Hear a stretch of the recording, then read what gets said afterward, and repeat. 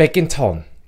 Ich fange es klassisch an und damit ein herzliches Willkommen nicht zu einer neuen Folge Clash of Clans, nicht zu einer neuen Folge Clash Royale, nicht zu einer neuen Folge Pokémon Go, sondern zu Super Mario Run. Das Spiel kam am Donnerstag raus. Wir haben heute den Samstag, wo ich das Video aufnehme. Im schlimmsten Fall kommt es bei euch am Sonntag hoch auf äh, meinen Kanal. Und ja, ich sehe es als kleines Comeback. Ähm, viele haben mir geschrieben, YouTube, Facebook, Instagram, Google Mail, was denn los ist, ob ich denn nicht mal mich von meinen Fans verabschieden will, ob ich denn kein Status-Update machen soll. Im Nachhinein muss ich natürlich sagen, ihr habt ganz klar recht. Irgendwas hätte ich schon von mir geben sollen.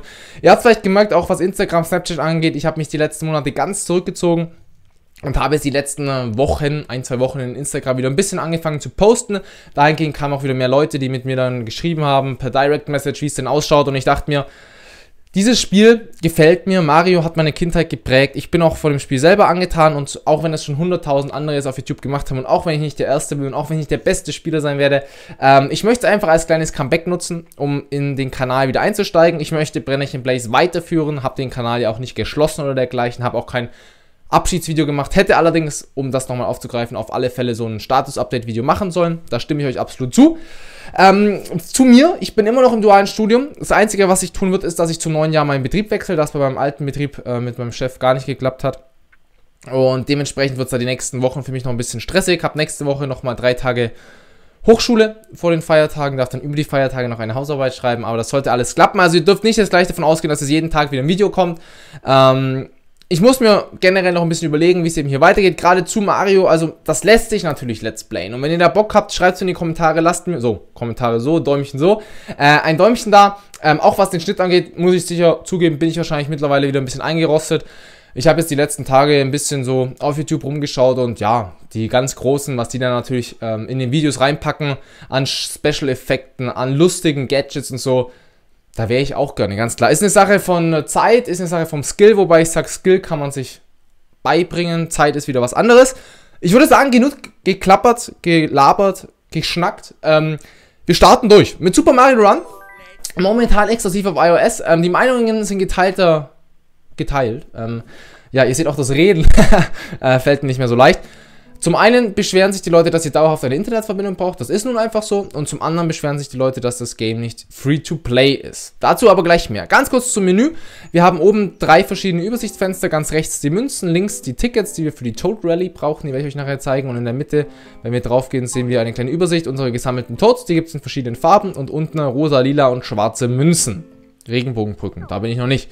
Dann hier, das Königreich könnt ihr bearbeiten. Wenn ich auf das Königreich rechts klicke, kann ich verstauen, die Objekte umsetzen platzieren. Oder ich kann dem Shop, wo ich mir diverse Deko kaufen kann, wie man hier sieht, von den Preisen auch recht überschaubar. Für mich allerdings eigentlich nur interessant, ja, das wäre zum Beispiel cool. Ich bekomme sie aber nur, wenn ich genug blaue und grüne Toads habe. Die bekomme ich aber erst, wenn ich in den Welten weiter bin, zu denen wir gleich kommen. Und ganz rechts die Extras, denke ich, sind am interessantesten. Hierzu brauche ich aber auch immer Toads andere Farben. Also das bringt mir so momentan nichts. So, wir fangen mal mit dem klassischen Spiel an, gehen in die Welten hinein.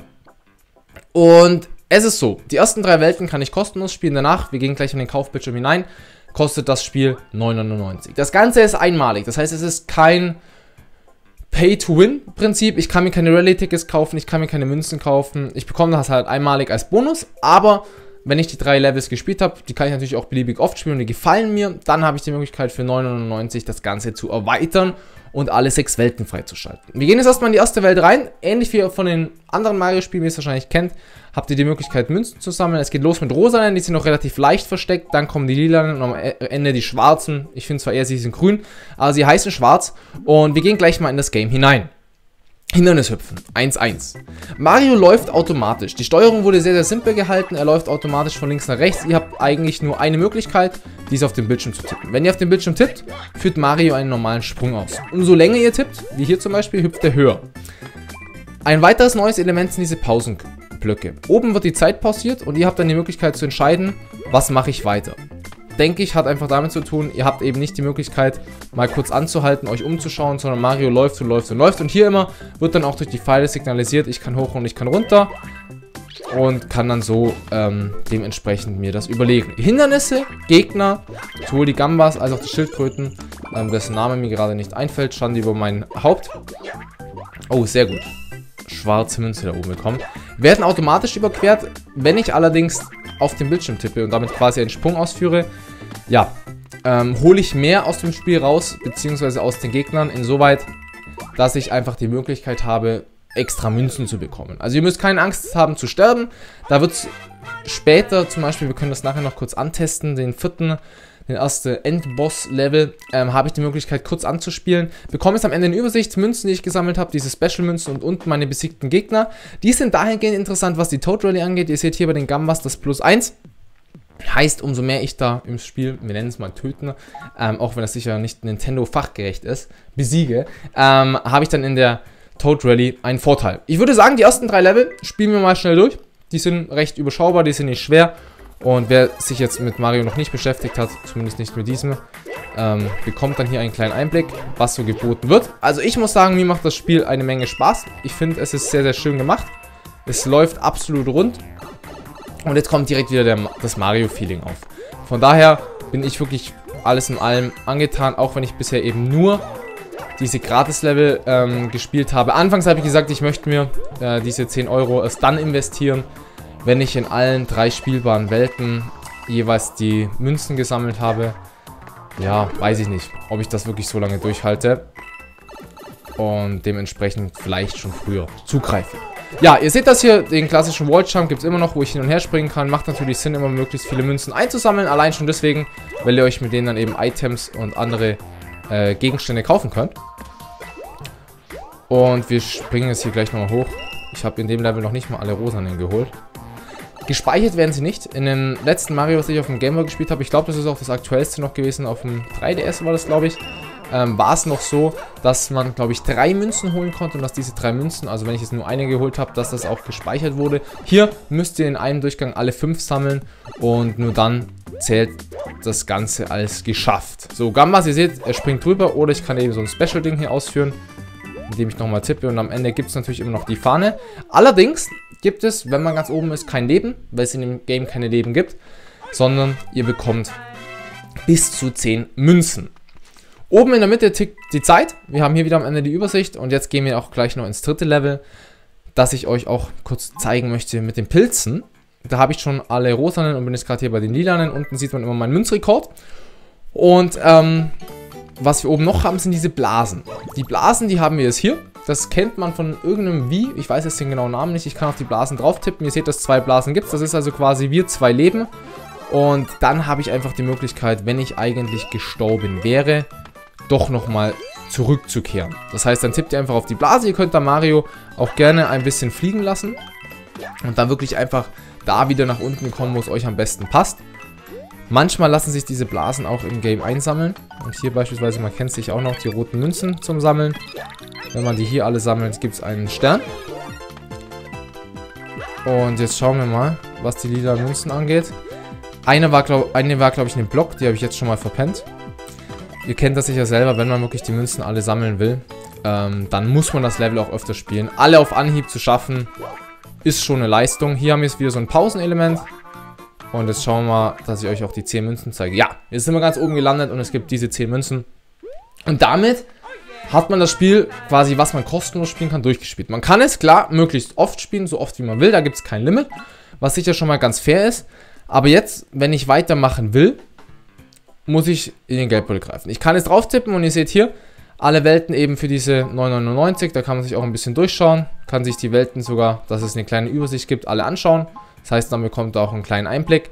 Und man kann großzügigerweise ähm, die erste Bosswelt 20 Sekunden lang anspielen. Das habe ich selber jetzt auch noch nicht gemacht. Das heißt, ist zwar ein bisschen witzlos, aber das werde ich mit euch machen, dass wir das Probespiel hier bekommen. Und wir sehen hier klassisch, wie man es kennt, so eine Endwelt im ähm, Bose-Style. Und auch diese Flammen, die es gibt, diese Skelette. Da müssen wir mal schauen, wie Mario da reagiert. Zum Hangeln auch, schauen wir mal. Ah, selbst über die geht er automatisch rüber. Und ihr seht hier, man kann da auch wieder Multiplikatoren ähm, nutzen. Und hier oben kann ich hangeln, wenn ich möchte. Und jetzt ist die Zeit, das heißt, das Probespiel auch schon vorbei. Ja, über die 20 Sekunden, ob das jetzt nötig war oder nicht, kann man drüber diskutieren. Ich selber, wie gesagt, werde es mir auf alle Fälle kaufen. Und wenn ihr da Bock habt, das Let's Play auch fortführen, also lasst mir da gerne ein Däumchen hoch da, schreibt mir gerne in die Kommentare rein. Wir könnten mal so mit Mario langsam wieder durchstarten und dann schauen, wie es eben weitergeht. Und jetzt gehen wir noch zum Abschluss für das Video einmal in die Rallye hinein. Ich habe eh nur noch ein Rallye-Ticket. Wie bekomme ich die Tickets? Tickets bekommt ihr, wenn ihr alle Münzen in den Welten sammelt. Dann gibt es immer zwei Tickets. Oder ihr habt hier ein Bonusspielhaus, das könnt ihr alle 8 Stunden, ich nenne es mal, nutzen. Und ihr habt am Ende vier Truhen. Eine könnt ihr auswählen und mit Glück ist da ein Ticket drin. Und ein Ticket eben eine Toad Rally. Ich habe momentan 337 Toads. Mir werden jetzt hier Gegner vorgeschlagen. Umso mehr Toads, umso mehr haben sie natürlich drauf. Ich nehme jetzt hier mal den Adam mit 343. Und wichtig bei der Toad Rally ist, möglichst viele Münzen sammeln, schneller als der andere sein und möglichst viele, ja, wir nennen es mal Kunstsprünge ausführen aus. Weil ihr müsst die Toads begeistern. Die seht ihr hier unten. Für jeden Special-Sprung, den ich mache, sei es hier so ein Dreher in der Luft, er jubelt dir und kommt mit etwas Glück ein Tod hinzu. Ich lasse mich jetzt hier schon zurückwerfen, damit ich mehr Sterne bekomme. Dann gibt es hier diesen Münzstrauß noch. Und der einzige Nachteil, den ich jetzt hier habe, wobei das nicht unbedingt ein Nachteil sein muss, ist, dass der momentan vor uns ist. Aber wir sammeln dafür deutlich mehr Münzen. Hoffe ich zumindest. Und jetzt überspringen wir mal diesen Block. Weil es gibt 10 extra Münzen, wenn man als erstes zur Fahne kommt, wo er es leider der erste ist und die extra Münzen hat er es bekommen. Aber ich hoffe, dass ich einfach durch meinen Mega-Skill, was das Münzensammeln angeht, ähm, das wieder wettmache. Und in dem Fall es zweitrangig ist, dass er hier vor mir ist. Aber das wird sich am Ende in einer wirklich coolen Animation zeigen. So, hier gibt es auch nochmal schöne extra Münzen raus. Und oben seht ihr die Zeit. 10 Sekunden läuft das Ganze noch. Die Lilane natürlich wunderbar übrig gelassen. Und ich denke, das müsste ich wahrscheinlich verloren haben. Ich habe insgesamt etwas wenig Toads, die hier unten begeistert waren. Am Ende gibt es jetzt eine Bewertung. Zum einen, wir lassen es, man kann es skippen, aber wir lassen es mal durchlaufen. Ähm, werden die Münzen gezählt und oben sehen wir gleichzeitig die Toads, die wir begeistert haben. Und Toads werden dann am Ende noch dazu gezählt. Also momentan noch relativ ausgeglichen. Ich habe sogar ein paar Toads mehr. Schauen wir mal. Münzen führt er. Eventuell mit den... Es könnte ganz, ganz knapp werden. Er hat es 379. 373. Leider eine Niederlage. Und das Problem, was man jetzt hat, ist, die Toads werden abgezogen. Zwar nicht die genaue Differenz, sondern es wird einfach eine gewisse Anzahl abgezogen. Ich habe jetzt hier 20 Toads verloren. Ihr seht, blau, grün, gelb und lila habe ich noch gar keine. Ich vermute irgendwie einfach, die gibt es dann eben in den späteren Welten. Und wenn ich jetzt zum Beispiel auf nochmal gehe, habe ich keine Tickets mehr. Und das sagt ihr eben, Tickets findest du zum Beispiel in Bonusspielhäusern oder in Fragezeichenblöcken. Fragezeichenblöcken, wie ich das vorher gesehen habe, kann man sich ja im Shop kaufen. Oder es gibt eben eine, wenn ich die Welten freischalte. Jo, das wäre es. Der momentane Umfang. Man kann dann, wie gesagt, sich auch noch mit Freunden befreunden und hat dann hier die Möglichkeit, sich gegenseitig auszutauschen. Ich habe mich mit meiner Schwester schon mal befreundet. Das läuft im Nintendo-Stil äh, mit einer ID. Also mit Brennerchen alleine werdet ihr mir jetzt nicht finden. Und ich würde sagen, das war jetzt so mein kleines Comeback. Nach vier, fünf Monaten Pause äh, mit Super Mario Run war für mich eigentlich wieder ein ganz guter Einstieg. Ich hoffe, ich habe es nicht ganz verlangt. Euch hat es Spaß gemacht und ihr könnt mir gerne zum Game, ähm, zur Preispolitik, wie das Ganze jetzt gestaltet wurde, eure Meinung unten in die Kommentare schreiben. Können wir da ein bisschen diskutieren. Ich schaue natürlich auch wieder, dass ich wieder, ja, ein bisschen mehr Nähe euch gegenüber zeige und wir uns da auch ein bisschen über die Kommentarfunktion austauschen können. Ähm, und wenn es euch gefallen hat, würde ich mich sehr über einen Daumen nach oben freuen. Wenn ihr mich vielleicht schon deabonniert habt und wieder auf mich gestoßen seid, es wird wieder mehr kommen, also dürft ihr gerne auch ein Abo dalassen. Und wenn ihr Bock habt, dass es mit Super Mario Run auf diesem Kanal weitergeht, dass wir das also so als kleines Let's Play gestalten, dann ja, schreibt mir das auch gerne in die Kommentare. Ich wäre dann für die heutige Folge raus, wünsche euch noch einen schönen Tag und bis zum nächsten Mal. Ciao, ciao.